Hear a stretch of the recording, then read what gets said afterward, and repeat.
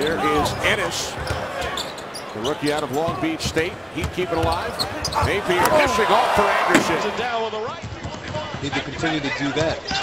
Napier, that is Shabazz Napier sets up way down the runway. They've played over in Croatia and Slovenia and Spain.